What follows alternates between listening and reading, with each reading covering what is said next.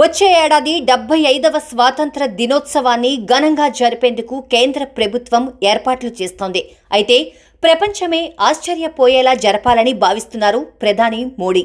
ఇందుకోసం దేశంలోని ప్రముఖ నాయకులు వ్యాపారవేత్తలు నటులు జడ్జీలు ఇలా అన్ని వర్గాల పెద్దలకు ప్రాధాన్యత కల్పించేందుకు కేంద్రం ఒక కమిటీ ఏర్పాటు చేసింది. ఆ కమిటీ అవసరమైతే కో ఆప్ట్ మెంబర్స్ నియమించుకునే స్వేచ్ఛను కూడా ఇచ్చారు. ఈ కమిటీలో మాజీ రాష్ట్రపతి ప్రతిభా పాటిల్ సుప్రీంకోర్టు ప్రధాన న్యాయమూర్తి justice S A Bobde BJP senior నేత ఎల్కే అద్వానీ జాతీయ భద్రతా సలహాదారు అజిత్ దోవల్ కేంద్ర మంత్రులు గవర్నర్లు త్రివిధ దళాధిపతులు ఇలా అందరితో కమిటీ వేసింది కేంద్రం. దీనికి ప్రధాని నరేంద్ర మోడీ నేతృత్వం వహిస్తున్నారు.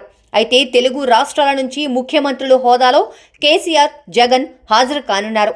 వీరిద్దరూ కాకుండా గవర్నర్లు సాధారణంగానే ఉంటారు. అయితే ఇతర ప్రముఖుల్లో దర్శకుడు S S Rajamouli Ramoji group chairman Ramoji Rao Pullela Gopichand P V Sindhu ఉన్నారు. కానీ ఎంతో ప్రతిష్టాత్మకమైన ఈ కమిటీలో మెగాస్టార్ చిరంజీవి లేకపోవడంపై మెగా ఫ్యాన్స్ అసంతృప్తి వ్యక్తం చేస్తున్నారు. అదే తమిళనాడులో super star Rajinikanth A R Rahman Ilaiyaraaja ఉన్నారు. ఇటు అమితాబ్ బచ్చన్ సైతం ఈ కమిటీలో ఉన్నారు. తరతరాలు నిలిచిపోయే ఈ కమిటీలో మెగాస్టార్ చిరంజీవి కానీ పవర్ స్టార్ పవన్ కళ్యాణ్ కానీ లేకపోవడంపై టాలీవుడ్లో అసంతృప్తి వ్యక్తం చేస్తున్నారట.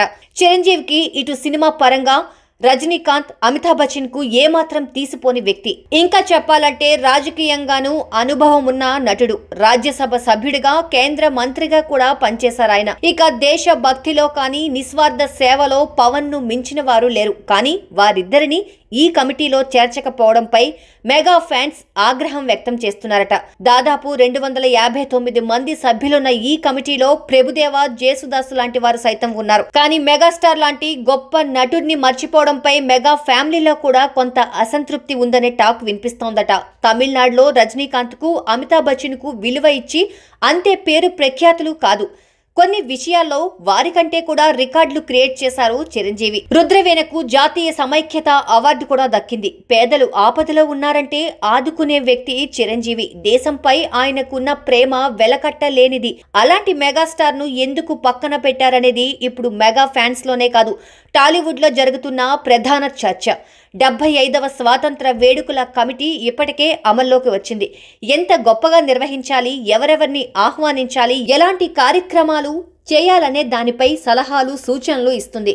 ఈ కమిటీకి ఢిల్లీలో జరిగే వేడుకల్లో ప్రత్యేక ఆహ్వానం ఉంటుంది. ఇది చరిత్రలో నిలిచిపోయే ఘట్టం అనడంలో సందేహం లేదు. కానీ తెలుగు సినిమా అభిమానులకు మాత్రం మెగాస్టార్ చిరంజీవి కూడా ఈ కమిటీలో ఉంటే బాగుండేదని అభిప్రాయపడుతున్నారు. ఇటు జన సైనికులు సైతం పవన్ కళ్యాణ్ ఉంటే గొప్పగా ఉండేదని చెబుతున్నారట.